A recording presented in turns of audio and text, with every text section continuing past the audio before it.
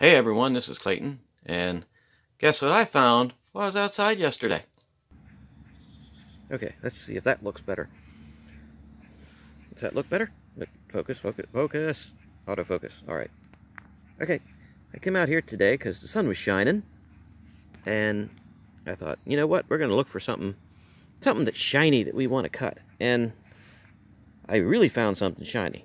I mean, look at that.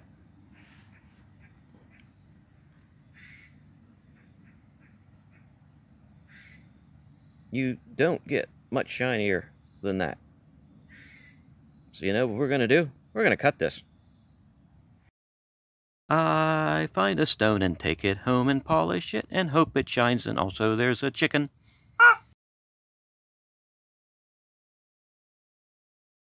Oh, here it is. And even though I sound redundant, this stone's pretty cool. I mean, shining in the sun like that, ooh, baby. So, yeah, it's got to be cut. So, let's take a look here. What do we have? Um, well, we got a semi-flat side there and a rounded up side there.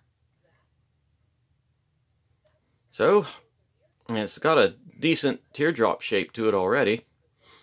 So that's a good idea. Well, it's a good idea that that's going to end up being a teardrop.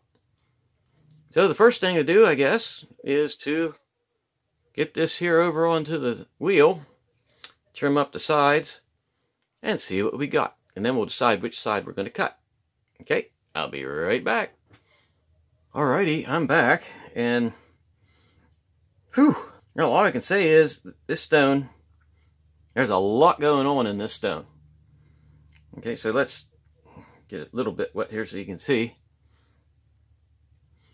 Let's take a look at what we got going on here, if it ever focuses. Come on, focus. There we go. You can sort of see there is sparkly goodness like everywhere.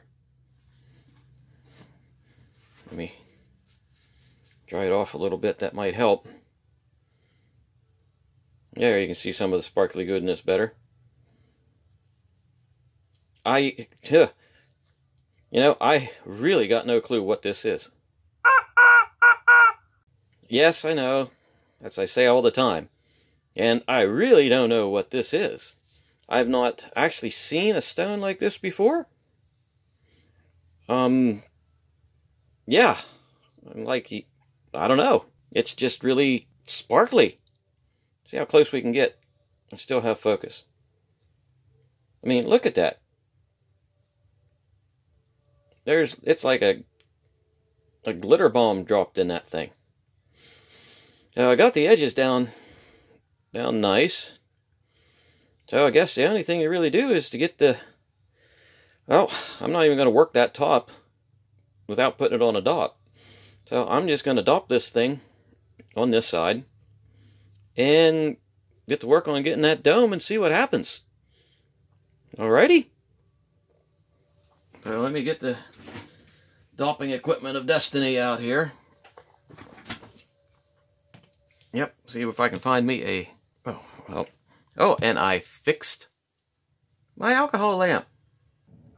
Ah! Yay! yeah, it's about time. So wax on, wax off, you know how that goes. Now I put some silicone around this so I could seal it up. And now I have a, hopefully, ooh, are you going to melt? Nope, not going to melt the phone. So hopefully this will be a fully functioning alcohol lamp now, instead of one that was semi-functioning and annoying.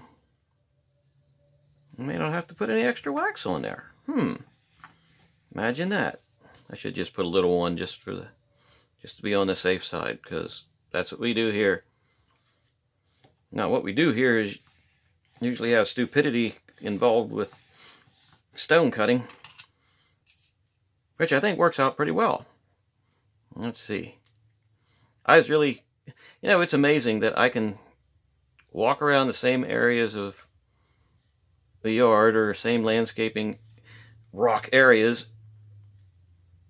and then find something new that I haven't seen, even though I've looked over the area area a dozen times. It it it's sort of like Really, how did I miss that before? I seriously have to get uh, some new lapidary equipment. My grinding wheel here is really, really, really, really bad. Diamonds are about all gone. It's got an odd size arbor on it, and I have to order them from China. And getting stuff China right now, yeah, that's... Oh, jeez! Ouch! That is ah, still bloody hot. Holy smokes. Huh. Okay, where was I? Oh, yeah, ordering stuff from China. It's like up to, it says 10 to 12 weeks for the, for the one blade to come in. 10 to 12 weeks for one of these. Just because of this arbor size. I might be able to get like one of those unibits and drill it out, but if it's off center, then it throws everything around so bad. So I'm just sort of trying to drag this one out for as long as I can. Actually, I'm selling my plasma so I can get money to buy some new equipment that I don't have to order from China. Okay, so this is ready. I'm going to take this over onto the stone. Onto the wheel, not to the stone. I'm going to take this stone over to the wheel and put the dome on. And I'll be back in a minute.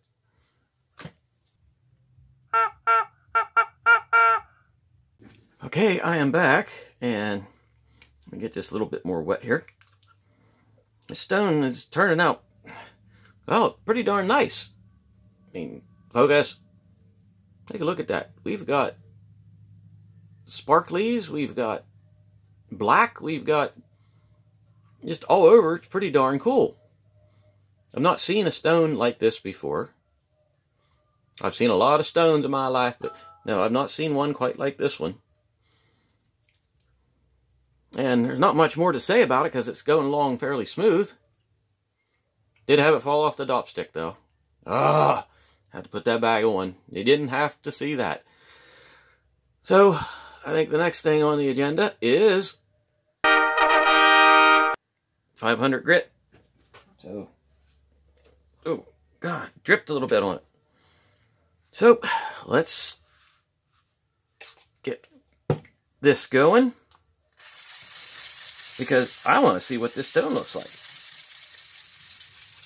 Alrighty, let's, let's see what we got here.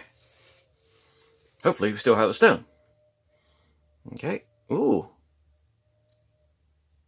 That's coming along really nice. Doesn't seem to be much undercutting. But there is a whole lot of shiny... Oh, wait, let me get this stupid light off. Oh, that makes I have an extra light over here for when I'm working on this so I can see better, but it doesn't help the filming any because I have special light for that. Hmm. So I'm going to work this just a little bit more along these edges, and then we're going to get over to the other sandpaper. Okay. Alrighty, here we got the thousand grit. We got everything ready. And it's looking pretty darn nice. Even nicer with that light out. Okay, so let's, without further ado, you know what's next. Right, let's see what, how this is coming along here.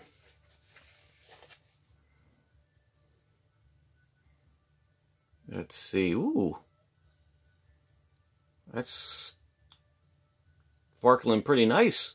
Oh, this light. Uh, that's my stupidity there, man. Anyway, this this is uh coming along pretty nice. I don't know, we'll see what we got. I'm gonna polish this up some more. I said about uh, selling my blood plasma. I had been wanting to donate plasma for a while because my uncle has some sort of blood disorder that his blood's getting super thick. It's like as thick as, well, when he cuts it, you can almost watch the blood come out of the cut like that slow, like really cold syrup right out of the fridge.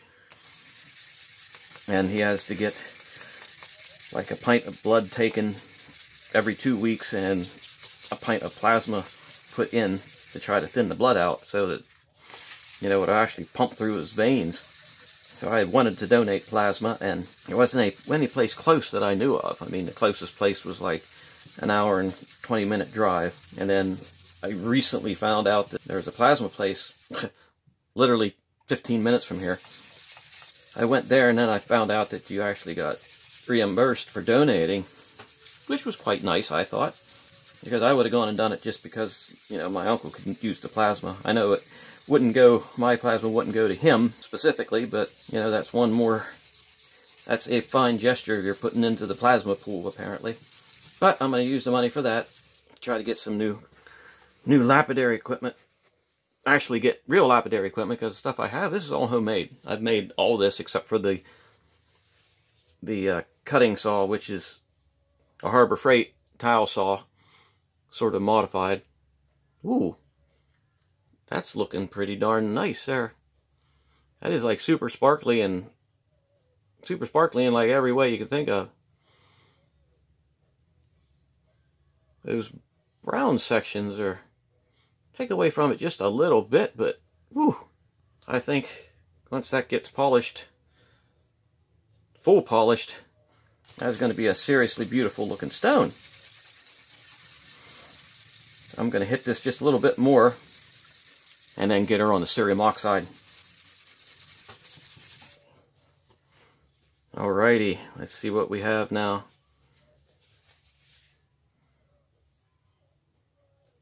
That's really, really shiny as it is. Good grief. Hmm. Now, if anybody out there has any idea what this stone might be, you know, you call me or put it in the comments or whatever. So I think I'm going to take this over onto the cerium oxide wheel and we'll see if we can get this baby into a super shiny. I'll be right back. Alrighty, I am back and this thing is pretty darn shiny. So let's get her up in there where you can see. I mean, take a look at that. Look at that stone. Whee! There is sparkly goodness all over the place in this thing. Like I said, I really got no clue what type of stone this is. But it is really pretty. I do have to say that, let me get the pointy stick, let me get this off the stick first. But, okay, here we go. Let me get the pointy stick of destiny. There's a little bit of brown stuff here.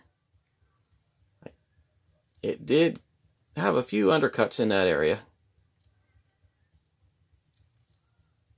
But nothing actually really serious.